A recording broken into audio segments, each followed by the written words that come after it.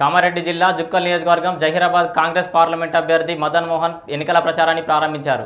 మదన్ మోహన్ రావు రాకతో యువకులు ఉత్సాహంగా సెల్ఫీలకు పోజులిచ్చారు. ఈ సందర్భంగా జుక్కల్ మండలంలో నిర్వహించిన ప్రచార సభలో మాజీ ఎమ్మెల్యే ఎస్ గంగారాం కాంగ్రెస్ సర్పంచ్ ఉప సర్పంచ్ కార్యకర్తలు పాల్గొన్నారు.